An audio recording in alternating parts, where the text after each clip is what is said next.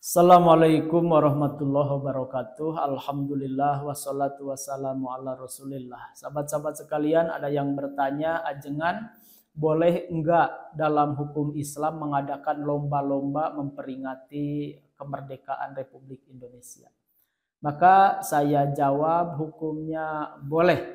Kenapa? Karena itu kan sesuatu yang uh, tidak harus ada dalilnya dan bukan ibadah dan kena ke kaidah umum usul fikih bahwa al aslu fi kulli sayin mubahun hatta kana adalilu ala tahrimihi.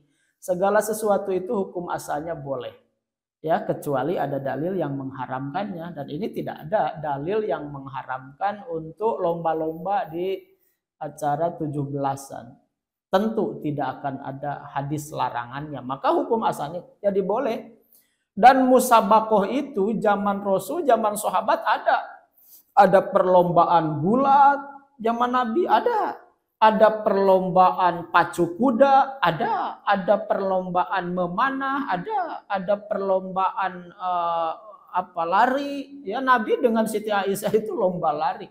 Jadi musabakoh itu uh, itu sesuatu yang dibolehkan dalam Islam. Jadi perlombaan-perlombaan tujuh belasan dibolehkan dalam Islam tentu dengan syarat-syarat tertentu yaitu tidak boleh ada kemaksiatan, kemungkaran dan hal-hal yang melanggar prinsip Islam. Itu saja barangkali lomba-lomba 17-an itu dibolehkan. Hatur nuhun wallahu alam bisawab. Assalamualaikum warahmatullahi wabarakatuh.